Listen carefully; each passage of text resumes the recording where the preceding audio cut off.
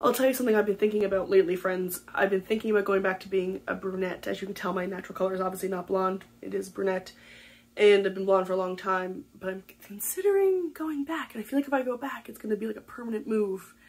And I don't know what to do about it. Mostly, I think that my hairstylist will be upset. I don't want to tell her. Hello Bibliophiles, my name is Jill and I'm here to do my October wrap-up today. I was considering just not doing it this month, but no, I want to be consistent and I really would like to have, I think, a record of my, all of my wrap-ups of the whole year on my channel. So I'm gonna I'm gonna do it. Um, the reason I was considering not doing it is because I I was thinking I didn't have any books I really liked this month, but I did. I've kind of had a couple I really enjoyed. Mostly though, I just felt pretty mediocre about October as a reading month, just generally. You know, I read, I think I read nine books, which is, you know, a lot of books. The first one I'll talk about is The Seven Husbands of Evelyn Hugo by uh, you know, Taylor Jenkins Reid. I both listened to this partly in audio and also read a physical copy of it. I have to say, I really liked the audio. I thought it was well done, but I, I think I just preferred reading the physical copy of this book because it went so fast. It was a very, very fast read. And this is my first Taylor Jenkins Reid. Um, you know, exactly what I thought it was going to be. It was fast, it was entertaining, I thought it was, you know, relatively well written. This book was exactly what I thought it was going to be, and I guess that's also because, like, I was well prepped for it. Everyone on the internet has talked about this book, so it wasn't like I was going in even remotely blind. I truly don't have a lot to say about this book that you haven't already heard from someone else. Uh, I didn't think it was the best book of all time. Some people give it book five stars. I don't understand why. I mean, it's not that good. it's just like, it's just good. Like, it's a decent read. I'd recommend it to almost anyone. I almost feel like the journalist slash narrator person who was writing the story of Evelyn Hugo was an unnecessary conceit to that book. I think it would have been just as successful, maybe even more so uh, if it had been like the undiscovered diaries or something of Evelyn Hugo or like the undiscovered tapes of Evelyn Hugo or something like that, where it wasn't a third person that was like in, pulling the story out of her. It was just like her story. I don't think you needed the extra person to like the to kind of move the story forward. But yeah, you know, glad I read it. Glad I read a Taylor Jenkins Reid. A small part of me was hoping I'd be like enraptured by Taylor Jenkins Reid and like she'd be new favorite author and I'd be swept away forever by her writing. That didn't happen but I did enjoy it. And, uh, you know, I wouldn't hesitate to read something else by her if I wanted something like kind of quick and, and the same kind of experience I had reading this book. Next, I listened to an audiobook, I think for the first time ever, a short story collection, uh, which I enjoyed the experience of listening to a short story collection. I didn't necessarily love this one. This is The Secret Lives of Church Ladies by, I can't remember the author's name, but it's on the screen here. This has won a bunch of, I think it won the National Book Award. Everyone's talked about it. I'm not the first person to mention the short story collection. And I'm really glad, honestly, that I did not buy a copy of this book because I did not love this book. I didn't hate it, and I definitely, I just feel really like whatever about this book, very medium about this book. And I think in large part, my relationship with this book is a struggle with the conceit of this book. The writing was was fine, pretty good in some parts. I thought the stories, some of them were some of them were better than others, as every short story collection. But I was so frustrated with like the title, you know, The Secret Lives of Church Ladies. I'm excited to see what interesting secrets these people have. Like, what does this mean? The secret lives of church ladies. And it is so, forgive my French, boring that the first three stories were all about like illicit sex affairs. Like, boring. So expected, not creative, not interesting, same old story we've heard a thousand times. Like, nothing about it. Just like, it was so boring to me. There's some queer stories in here, and there's a story about like a pastor and his illicit affair, and like, I don't know, man. Like, it's all very pedestrian to me. It didn't feel interesting or new or like nothing about it was at all intriguing to me. So I'm really glad I didn't buy a copy of this book. I feel like I'm the only person to ever talk about this book who did not like rave and rave and rave about it. But you know, if you want to find a glowing review, they're all over uh, YouTube, so you can go find one. Um, it just wasn't a book for me. I have seven books left. Should I go over the ones I didn't like first and then the ones I did like? What do you think? Let's go on ones I didn't like because uh, I'll go through them pretty fast. Um, I read for my book club The Dark Library by Cyril Martinez, translated by Joseph Patrick Stancil. This is a book that I bought from my local bookstore, uh, like right before the pandemic. I was just in the bookstore one day just browsing and I picked up, I just saw this and I picked it up. I didn't know anything about it. On the back, it says, in Cyril Martinez's library, the books are alive. Not just their ideas or their stories, but the books themselves and it kind of goes on a little bit. And now, now that I've read the book, I understand what the back means, but reading it separate from reading the book is kind of like, what is this talking about?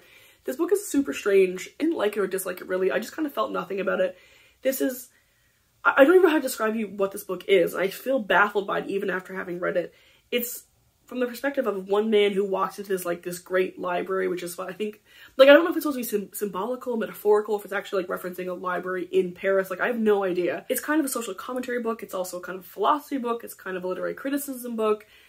There's a talking book who kind of narrates the downfall of libraries and reading, and I don't know. It's a weird book. I'm just gonna say, don't seek it out. this might be appealing to you if you're in university studying literary criticism or studying philosophy, but I think ultimately, I, I think this should probably just stay on the shelf. I decided to reread Fun Home, Alison Bechdel's uh, graphic memoir. I read this a couple of years ago well, more than that, 10 years ago maybe, I don't know. When I originally read this, I didn't love it. I remember struggling a bit with the content and I just was kind of feeling baffled by how many people like raved and raved about this book. Also, somebody commented on my video about Jennette McCurdy referencing this as a trauma memoir and I had kind of not thought of it in that way, so I wanted to read it again to kind of you know, think about that. I had the same problem this book this time around as I had last time around. I really struggle with books that reference classic literature and classic philosophy and kind of um, like traditional writings that like I just haven't read or engaged with at all, it really alienates me from the text. And anyone who references Proust this much, it makes me not like the text at all. Because this book is so heavily focused on Proust and also Ulysses, two things I haven't read will never likely read, or very unlikely I'll ever read these things. Um, I just really did. I couldn't enjoy it. Like I couldn't connect with it at all because even though the ideas are, I guess, universal in some capacity, by using these as like anchor points, it's just so alienating. I really struggle with it, I, and I want to like it more than I do because I think I have, you know, an affection and a respect for Alison Bechdel, as most of us, I think, probably do. But I just, I really struggle with this book. It really kept me at arm's length, and I just like couldn't really connect with it. So yeah, I'm confirmed that it's not a book I love. And the last book that I didn't really love this month is Billy Ray Belcourt's book, A Minor Chorus. Billy Ray Belcourt is a Canadian Indigenous writer, and this is his first fiction. Um, he's a poet. He's written kind of a memoir before called A Memoir of My Brief Body, and which I have but haven't read yet.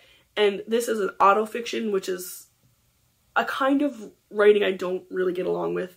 So this is largely why I didn't get along with this book. I also think this book is kind of this book feels unfinished to me. This book feels like it wasn't ready to be published. I almost feel like he had a deadline to publish something and he like passed this in and like it wasn't complete.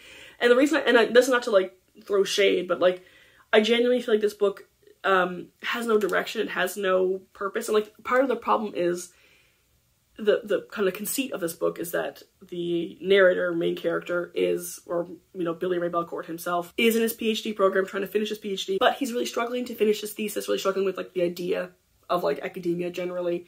So instead, he decides to try to write a novel. And to do that, he decides to go back home from Edmonton to like up north to a smaller town and kind of talk to family and friends and kind of piece together a novel. But the thing is, he doesn't have a point of the novel. So mostly it's just him being like, I want to write a novel, and then talking to like friends and talking about like memories that he's had with certain people. And that's that's all it is. There's nothing else comes of it. There's no overarching kind of theme or motif. Mostly it's like he's like, I don't know what I want to do. That's it. And I just feel like it's just a half it's a half formed thought really the, there's some parts that are beautifully written, like really beautiful lyrical writing. I think that Billy Ray Belcourt will write a beautiful, wonderful novel someday, but it is not this one. Um, I did a podcast with my friend Alex from the Hamilton Review of Books podcast, where we talked about uh, book prizes, but also autofiction, and we talked about this book specifically. So if you want to listen to us talk about this book and talk about book prizes and let us be a bit salty, uh, I would love for you to listen. To it. I had a lot of fun recording it and I think you'd really enjoy listening to it, so I'll leave the link down below if you want to give it a try. Let's talk about the books that I enjoyed this month. I read another Agatha Christie. I read 450 from Paddington. Somebody in my comments in my last video said that this was originally called What Miss Mrs. McGillicuddy Saw with an exclamation mark which is a great title. I think it's better than this title. Um, but this is, a, you know, a still good title. Uh, this is about uh, Mrs. McGillicuddy is on a train, the 450 from Paddington, to go meet her friend, Miss Marple. And she witnesses a murder through the window on a train, like on the tracks across from her, like a different train. She sees a murder happen. And she tries to report it, and basically, like, police are like, well, we can't do anything about that. There's no body. All we have is like what you think you saw, basically. So of course, her friend Miss Marple is on the case. This is one of my favorite Christies I've read. I thought the writing was excellent.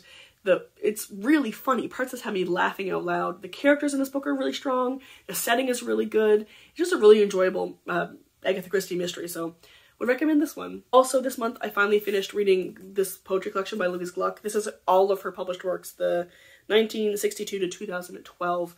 Uh, this I took me months to read. I started reading it in June or July, and I finished it in this month. And I have to say, what an interesting, fantastic experience to read someone's entire body of work, you know, in a short period of time, a couple of months. It's a lot easier to do with poetry, I think, what we do with novels or you know nonfiction works.